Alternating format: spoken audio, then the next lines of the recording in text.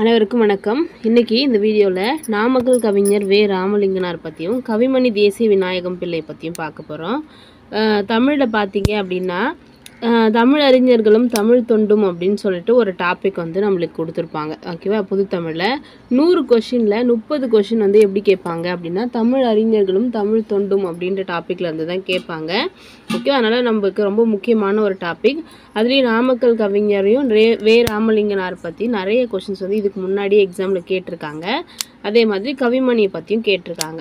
First வந்து நாமக்கல் கவிஞரை பற்றி பார்க்கும்பொழுது அவரோட இயற்பெயர் ராமலிங்கம்னு சொல்லியிருக்கோம். அவரோட ஊர் பார்த்தீங்கன்னா மோகனூர் அப்படின்ற ஊர் நாமக்கல் மாவட்டத்தில் இருக்குது இவரோட பெற்றோர் வெங்கட்ராமன் அம்மணி அம்மாள் அப்படின்னு சொல்கிறாங்க அவங்க அப்பா அம்மாவுக்கு எட்டாவது மகனாக அவர் பிறந்திருக்காரு. அவரோட வளர்ப்பு தாய் வந்து ஒரு முகமதிய பெண் அப்படின்னு சொல்கிறாங்க அவங்களோட பேர் பதுலா பீவி அப்படின்னு சொல்லி சொல்லியிருக்காங்க. காலம் பார்த்தீங்கன்னா பத்தொம்போது பத்து ஆயிரத்தி எட்நூற்றி எண்பத்தி எட்டுலேருந்து இருபத்தி நாலு எட்டு ஆயிரத்தி தொள்ளாயிரத்தி எழுபத்தி ரெண்டு வரைக்கும் இயற்றிய நூல்கள் ரொம்ப முக்கியம். நாமக்கல் கவிஞர் பாடல்கள் தமிழன் இதயம் சங்கொலி தமிழ்த்தேர் கவிதாஞ்சலி பிரார்த்தனை தாயார் கொடுத்த தனம் தேமதுர தமிழோசை அவனும் அவளும் மலைக்கல்லன் இலக்கிய இன்பம் இதெல்லாமே நாமக்கல் கவிஞரோட நூல்கள். சிறப்புகள் அப்படின்னு பார்க்கும் பொழுது விடுதலை போராட்ட வீரராக இருந்திருக்காரு. தமிழ்நாட்டோட முதல் அரசவை கவிஞராக இருந்திருக்காரு. இவருக்கு இன்னொரு சிறப்பு பேர் காந்தி கவிஞர்னும் ஆட்சி மொழி கவிஞர்னு சொல்கிறோம் அது மட்டும் இல்லாமல் காங்கிரஸ் கவிஞர்னு ஒரு பேர் இருக்குது இவர் பத்மபூஷன் விருது வாங்கியிருக்காரு. லோகமித்ரன் அப்படின்ற இதழை வந்து நடத்தியிருக்காரு. சிறப்புகள்னு பார்க்கும்பொழுது பழைய புக்கில் இதை கொடுத்துருப்பாங்க. க அவர் எழுதின நூல்களோட எண்ணிக்கை. இசை நாவல்கள் மூணு தன் வரலாறு மூணு மொழிபெயர்ப்புகள் நாலு புதினங்கள் ஐந்து சிறு காப்பியங்கள் ஐந்து இலக்கிய திறனாய்வுகள் ஏழு கவிதை தொகுப்புகள் பத்து கட்டுரைகள் பன்னெண்டு. சரியா? இவர் வந்து தமிழ்நாடு அரசோட அரசவை கவிஞராக இருந்தது மட்டும் இல்லாமல் சட்டமேலவை உறுப்பினராகவும் பணியாற்றியிருக்காரு. அதுக்கப்புறம் என் கதை அப்படின்றது அவரோட சுயசரிதை நூல் எழுதினவர் நாமக்கல் கவிஞர். இந்திய நாடிது என்னுடைய நாடே என்று தினம் தினம் நீ அதை பாடு அப்படின்னு சொல்லி ஒரு பாட்டு இது எதில் இருக்குது அப்படின்னா நாமக்கல் கவிஞர் பாடல்கள் அப்படின்ற தொகுப்பில் இருக்குது அப்புறம் நாமக்கல் கவிஞர் பாடல் தெய்வ திருமலர் தமிழ் தேன்மலர் காந்தி மலர் தேசிய மலர் சமுதாய மலர் பெரியோர் புகழ் மலர் திருநாள் மலர் சிறு காப்பிய மலர் இசை மலர் அறிவுரை மலர் பலசுவை மலர் அப்படின்னு பதினோரு தலைப்புகளில் அவரோட பாடல்களை தொகுத்திருக்காங்க. சரியா? இதில் பதினொன்று அப்படின்றத ஞாபகம் வச்சுக்கிட்டா போதும். முத்தமிழிலும் வல்லவர் இயல் இசை நாடகத்திலையும். அது மட்டும் இல்லாமல் ஓவியக்கலையிலையும் வல்லவர் அப்படின்னு சொல்லி சொல்லியிருக்காங்க. அவர் முதல் முதலாக வரைந்த ஓவியம் வந்து ராமகிருஷ்ண பரமஹம்சரோட ஓவியம்னு சொல்லியிருக்கோம். அதுக்கப்புறம் ஐந்தாம் ஜார்ஜ் மன்னனுக்கு பாரத மாதா முடிசூட்டுறது போல ஒரு ஓவியம் வரைஞ்சி அதுக்காக தங்கப்பதக்கம் வாங்கியிருக்காரு நாமக்கல் கவிஞர். ஓகேவா? அடுத்து ஆயிரத்தி தொள்ளாயிரத்தி முப்பத்தி ரெண்டில் உப்பு சத்தியாகிரகத்தில் பங்கெடுத்ததுனால ஒரு வருஷம் சிறை தண்டனை பெற்றிருக்காரு. அது மட்டும் இல்லாமல் சாகித்ய அகாடமி உருவாக்குனதுக்கு அப்புறம் அதில் தமிழ் பிரதிநிதியாக பணியாற்றியிருக்காரு நாமக்கல் கவிஞர். சரியா? அடுத்தது நாமக்கல் கவிஞரோட பாடல்களோட மேற்கோள்கள் நம்ம தெரிஞ்சுக்கணும். ஃபஸ்ட்டு வந்து கத்தியின்றி ரத்தமின்றி யுத்தம் ஒன்று வருகுது. சத்தியத்து நித்தியத்தை நம்பும் யாரும் சேருவீர் அப்படின்னு ஒரு பாட்டு. இது வந்து உப்பு சத்தியாகிரகத்துக்காக அவர் பாடின ஒரு பாட்டு.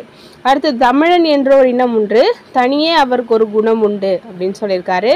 அமிர்தம் அவனது மொழியாகும் அன்பே அவனது வழியாகும். இந்திய நாடிது என்னுடைய நாடே என்று தினம் தினம் நீ அதை பாடு. அடுத்தது பாட்டாளி மக்களது பசி தீர வேண்டும் பணம் என்ற மோகத்தின் விசை தீர வேண்டும். இது எக்ஸாமில் ப்ரீவியஸ் இயரில் கேட்டிருக்காங்க. அடுத்தது கைத்தொழில் ஒன்றை கற்றுக்கொள் கவலை உனக்கில்லை ஒத்துக்கொள். இதையும் கேட்டிருக்காங்க இதுக்கு முன்னாடியே. அன்பும் ஆர்வமும் அடக்கமும் சேர்ந்தும் உண்மை தாண்டியும் உறுதியும் மிகுந்தும். அதுவும் அவரோட பாடல்.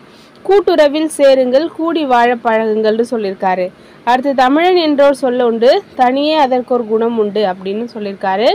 புரட்சி வேண்டும் புரட்சி வேண்டும். இந்த பாட்டும் எக்ஸாமில் கேட்டிருக்காங்க. காந்தியை மறக்காதே என்றும் சாந்தியை இழக்காதே. காந்தியம் நம் உடைமை அதை காப்பது நம் கடமை இப்படின்னு சொல்லியிருக்காரு. அடுத்தது இவருக்கான புகழ் உரைகள் என்னென்ன அப்படின்னு பார்த்தீங்கன்னா தமிழ்நாடு அரசு இவரோட நினைவில்லத்தை நாமக்கல்ல கட்டியிருக்காங்க. தலைமைச் செயலகத்தில் பத்து மாடி கட்டடத்துக்கு இவரோட பேரை தமிழக அரசு வச்சுருக்காங்க. திலகர் விதைத்த விதை பாரதியாக முளைத்தது. காந்தி தூவிய விதை நாமக்கல் கவிஞராக தோன்றியது அப்படின்னு சொல்லி ராஜாஜி இவரை பற்றி பெருமையாக சொல்லியிருக்காரு. ஓகேவா? அப்போது நாமக்கல் கவிஞரை பற்றி நம்ம இவ்வளோ விஷயம் தெரிஞ்சுக்க வேண்டியிருக்கு. இதில் எது கேட்டாலும் வந்து நீங்கள் பார்த்துக்கோங்க அடுத்தது கவிமணி தேசிய விநாயகம் பிள்ளை. அவரோட ஊர் பார்த்தீங்கன்னா கன்னியாகுமரிக்கு பக்கத்தில் தேரூர் அப்படின்ற ஊரில் பிறந்திருக்காரு. கவிமணியோட அப்பா பேர் சிவதானு பிள்ளை அம்மா பேர் ஆதிலட்சுமி. இவரோட காலம் பார்த்தீங்கன்னா இருபத்தி ஏழு எட்டு ஆயிரத்தி எட்நூற்றி எழுபத்தி ஆறுலேருந்து இருபத்தி ஆறு ஒன்பது ஆயிரத்தி தொள்ளாயிரத்தி ஐம்பத்தி நாலு வரைக்கும். ஓகேவா? இயற்றிய நூல்கள் ரொம்ப ரொம்ப முக்கியம். மருமக்கள் வழி மான்மியம் ஆசிய ஜோதி உரைமணிகள் மலரும் மாலையும் உமர்கையாம் குழந்தை செல்வம் காந்தலூர் சாலை தேவியின் கீர்த்தனைகள் மனோன்மணியம் மறுபிறப்பு திறனாய்வு கட்டுரை.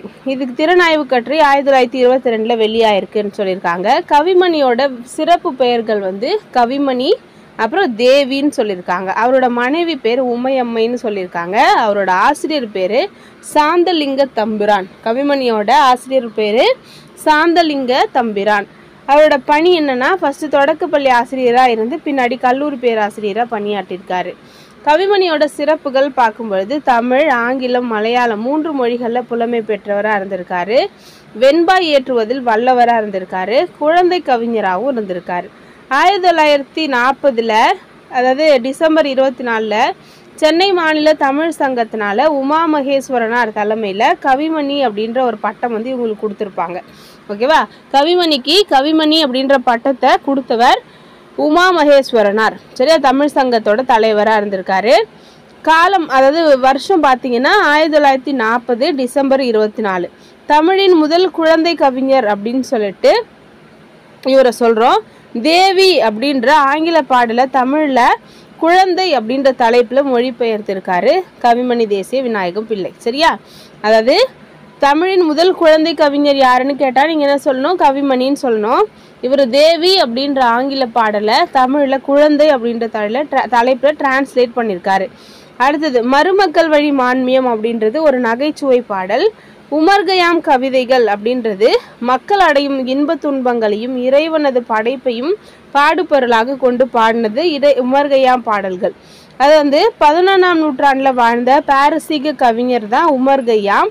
அவரோட இயற்பெயர் பார்த்தீங்கன்னா சாரி உமர்கயாமோட முழு பெயர் பார்த்தீங்கன்னா கியாசுதீன் அபுல் பாத் உமர்கயாம் அப்படின்னு சொல்லி சொல்லியிருக்காங்க.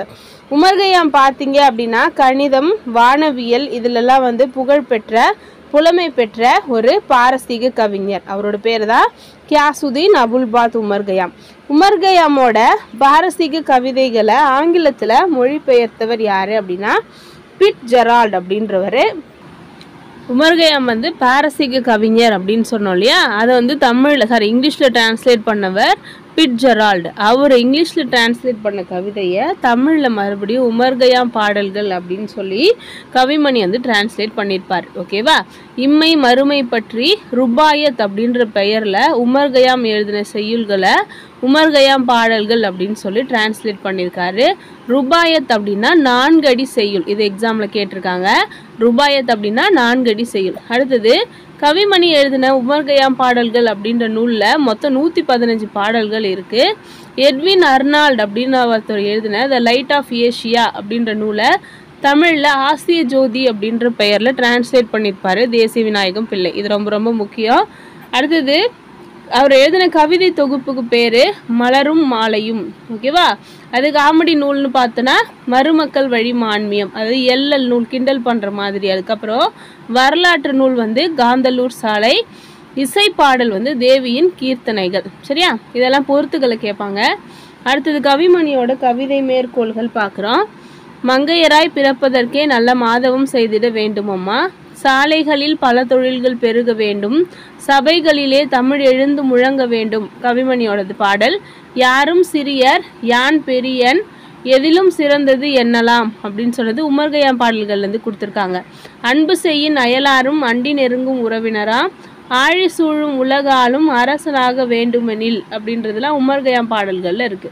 அடுத்து உள்ளத்துள்ளது கவிதை உண்மை உருவெடுப்பது கவிதை தெல்ல தெளிந்த தமிழில் உண்மை தெரிந்துரைப்பது கவிதை. இந்த நூல் வந்து சரி இந்த பாட்டு வந்து கவி கவிமணியோட கவிதைகள் அப்படின்றதுலேருந்து கொடுத்துருக்காங்க. அடுத்தது செந்தமிழ் செல்வ திருக்குறளை நெஞ்சகமே சிந்தை செய்வாய் தினம் நீதி திருக்குறளை நெஞ்சார தம் வாழ்வில் ஓதி தொழுது எழுது ஓர்ந்து. கவிமணியோட பாட்டு. அடுத்து ஓடு முதிரத்தில் வடிந்து ஒழுகும் கண்ணீரில் தேடி பார்த்தாலும் சாதி தெரிவதுண்டோ? அதுவும் வந்து கவிமணியோட பாட்டு. பாட்டுக்கோர் புலவன் பாரதியடா அவன் பாட்டை பண்ணோடு ஒருவன் பாடினானடா அப்படின்றது கவிமணி பாட்டு. தோட்டத்தில் மேயுது வெள்ளை பசு அங்கு துள்ளி குதிக்குது கன்று குட்டி கவிமணியோட பாட்டு. வெயில் கேட்டு நிழல் உண்டு வீசும் தென்றல் காற்றுண்டு கம்பன் கவி உண்டு கையில் மது உண்டு அப்படின்னு சொன்னது கவிமணியோட பாட்டு. சரியா? அடுத்தது இவருக்கான புகழுரைகள் அப்படின்னு பார்க்கும் பொழுது தேசிய விநாயக பெரு விநாயகத்தோட கவி பெருமை தினமும் கேட்பது என் செவி பெருமை அப்படின்னு நாமக்கல் கவிஞர் வே. ராமலிங்கனார் இவரை பற்றி பெருமையாக சொல்லியிருக்காரு. ஓகேவா? தேசிய விநாயகத்தின் கவி பெருமை தினமும் கேட்பது என் செவி பெருமை அடுத்தது கவிமணியின் கவிதைகளை புரிந்து கொள்வதற்கு பண்டிதராய் இருக்க வேண்டியதில்லை.